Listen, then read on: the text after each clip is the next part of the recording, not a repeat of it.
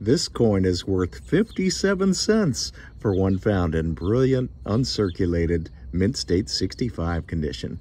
This coin is composed of an alloy, meaning a mixture of 75% copper and 25% nickel. We are currently enjoying a look at the front of the coin, or you may call this the obverse of the coin, or simply heads, where we see Jefferson, In God We Trust, the word liberty in Jefferson's own handwriting, the mintage year of 2018, followed by the mint mark P. That represents the Philadelphia Mint. That is where this coin was produced. Let's go ahead and flip this coin over to enjoy a look at the back of the coin, or you may call this the reverse of the coin, or simply tails. And what a beautifully designed coin this is, both front and back, both obverse and reverse, both heads and tails.